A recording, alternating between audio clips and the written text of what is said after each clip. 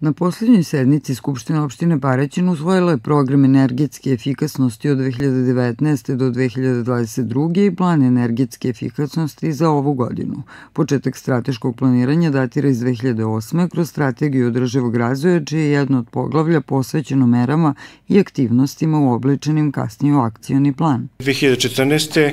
donešen je lokalni energetski akcioni plan opštine Paraćin, koji je takođe definisao određene mere aktivnosti na podizanju nivoa energetske efikasnosti u našim javnim objektima. I e, važnost tog dokumenta je bila tri godine, tako da je umeđu znači, taj dokument e, istekla je praktično važnost tog dokumenta i e, opština Paraćin je bila u obavezi da donese novi dokument. Umeđu vremenu je donešen i zakon o efikasnom korišćenju energije, znači prvi, po prvi put je država e, ovu oblast, da kažem, uokvirila i pridala je značaj donošenjem tog zakona i e, svaka lokalna samuprava koja ima preko 20.000 stanovnika je obveznik sistema energetskog menadžmenta. Sadržaj programa svih lokalnih samuprava je unificiran. Dobra stvar u celoj priči je što je sada potpuno znači uobličen sadržaj dokumenta, potpuno je definisana struktura dokumenta i sam naziv koji će znači biti isti za sve opštine, sadržaj će biti isti, praktično unificirana je cela priča, tako da će i, i znači e, ministarstvo lakše da kontroliše donošenje i, i praćenje praktično realizacije ovakvih dokumenta. U strugodišnjeg programa energetske efikasnosti usvojenim planom utvrđeni su projekti za koje postoji najveća verovatnoća da će se realizovati ove godine. Sam program ima nekih 13 tačaka, e, uvodni deo programa je uvek rezervisan za te neke opšte podatke o opštini. Zatim sledi detaljan energetski bilans e, potrošnje energije u opštini Paraćin, znači kako u oblasti javnih objekata, tako u oblasti javnih e, objekata javnih e, i javnih komunalnih preduzeća.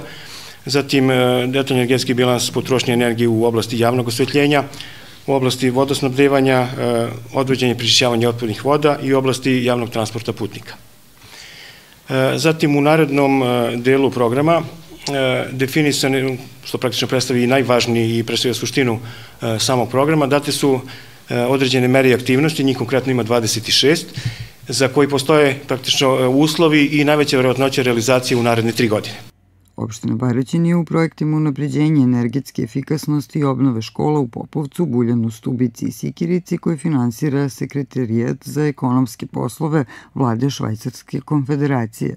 U toku je druga verifikacija projekata sa kojim je opština konkurisala kod Kancelarije za javne ulaganja Republike Srbije za rekonstrukciju i obnovu škole u Drenovcu i gradske škole Radoje Domanović, čiji se početak realizacije očekuje ove godine. U programu su navedeni različiti, objekt, različiti projekti iz, eh, koji će doprineti uštedi energije eh, kada je u pitanju vodosnabdevanje eh, znači u opštini Paraćin a ima i niz projekata koji su vezani za zamenu sistema grejanja u školama, u gradnju izolaciji i tako dalje.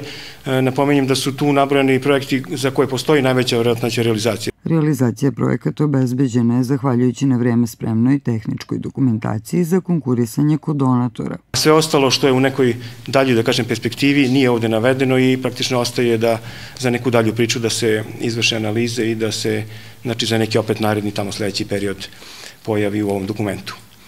E, zatim u sledećoj e, fazi znači obrade programa izračunate se potpuno izračunate su potpuno znači određenim softverskim e, alatima su izračunate uštede za svaki od tih projekata. I onda su, znači u onom poslednjem delu su dati nosioci mere i aktivnosti tih projekata, kao i sredstva koje su potrebne za sprovođenje svih, svakog projekta pojedinačno i ukupno za celi program. E, naravno, tu ima i određenih mera koje su, da kažem, nisko budžetne, koje ne zahtevaju puno finanskih sredstava ili uopšte ne zahtevaju nikak sredstva. Radi se određenim e, edukacijama, savjetovanjima, radionicama, kako za zaposlene u organima javne, e, lokalne samuprave, tako i u za zaposlene u javnim objektima, za korisnike školskih objekata, vrtići i tako dalje. Dokumentom je definisano u skladu sa zakonom o stanovanju dostupnost lokalne samouprave upravnicima stambenih zgrada i građanima u pogledu savjetovanja i preporuka u oblasti povećanja nivoa energetske efikasnosti stambenih objekata.